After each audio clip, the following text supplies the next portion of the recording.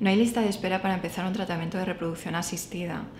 Eh, pedís cita con vuestro médico, el médico solicitará las pruebas necesarias y cuando ya esté claro el tratamiento que os tenéis que realizar, a partir de ahí ya se puede empezar en cualquier momento.